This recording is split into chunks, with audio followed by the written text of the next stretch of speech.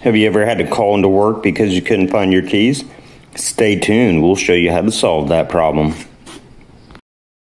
Hi, I'm Corey, and I lose stuff, specifically my keys. So today on One31 Woodworking, we're going to take some scrap ambrosia maple, scrap walnut, make a contemporary key holder that should solve all my problems. So let's go over the miter saw and get started cutting. What we're gonna do here is we're gonna set our um, miter saw up and we're actually gonna cut a compound miter. So you set your fence to 15 degrees, rotate your bevel uh, to 15 degrees and this will give you a 15 degree uh, compound uh, cut. Sorry for the uh, poor angle here, but what I'm doing is uh, taking my piece, lining it up with my marks on my jig, uh, rotating, cutting, and repeating. So now we got all of our pieces cut, we're just to line them up, flipping them every other one.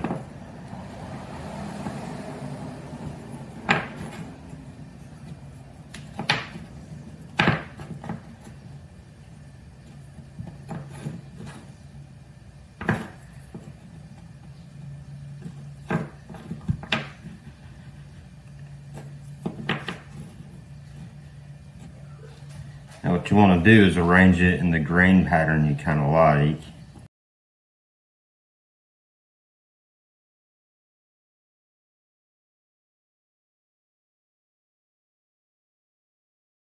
We'll take our ambrosia maple.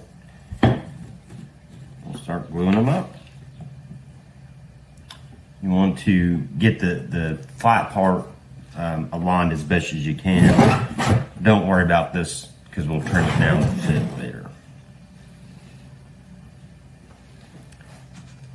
We've got all of our pieces glued in, we'll put, put a clamp on it and let it dry for a little bit.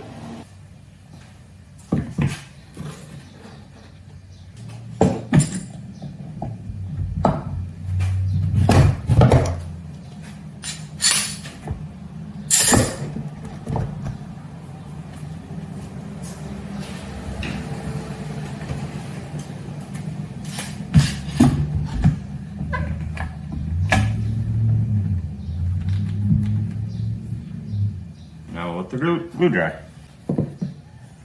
So we just pulled the clamps off. Um, and this is kind of what we're left with. We're gonna get ready to trim it up, but the way this works is you've got a, the way this works, you have 15 degree angle here, and a 15 degree angle here, and when it slides in, it acts as a lock. You can hang keys on it, paint brushes, whatever you got, and, and that looks, and that looks pretty, pretty cool. So back over to the miter saw, we're just gonna trim our edges. So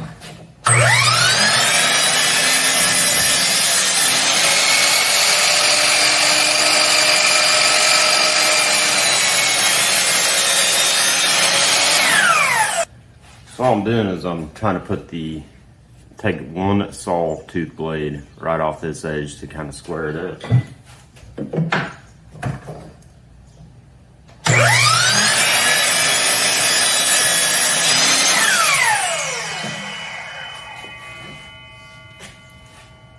Getting closer.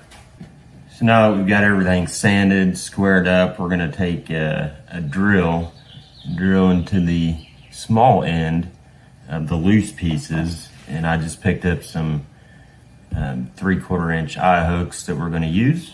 Um, you go here. So the trick is you want your, try to keep your drill square and not blow out the front or back.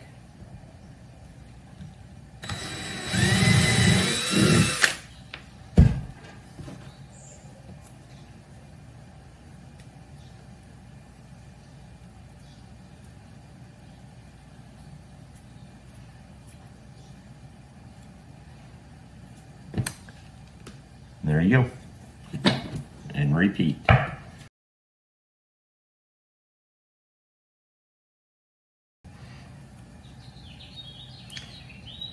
If you wanted to, you could drop a little CA glue down the hole uh, before screwing that in. It'd act like a, a Loctite and they won't come out. However, I built a, a smaller set and this is just, this is just pine. It just hangs your keys right on it. Um, haven't had any issues with with my hook coming out. No glue, no CA glue, nothing like that.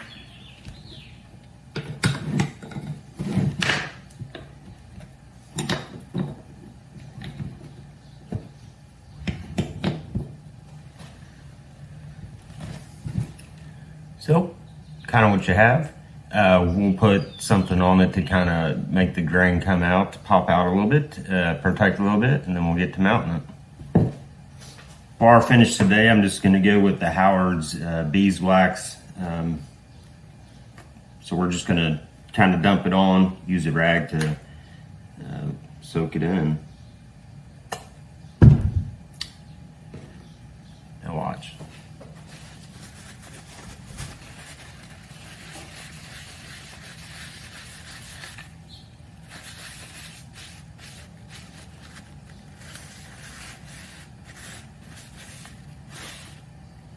Literally my favorite pro- part of any project is just watching that grain come to life.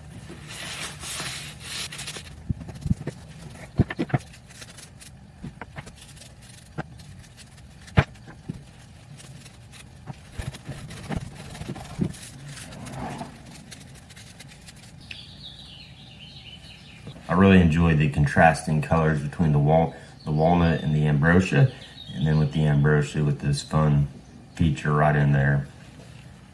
That's what we're left with. So as far as mounting, you can take the, the picture frame holders um, and nail a couple here and here, hanging on your wall level. But since we're going with the scrap wood projects, we're just going to countersink some holes uh, in behind here. So we're just going to find our keys, attach it to our blocks, get them hung on the wall.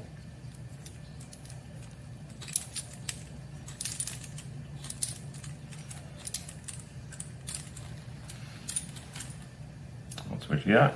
So you can take your block, your keys, drop them in.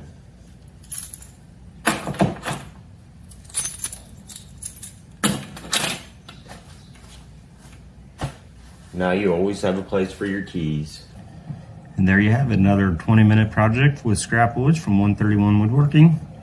Time to go get some more wood.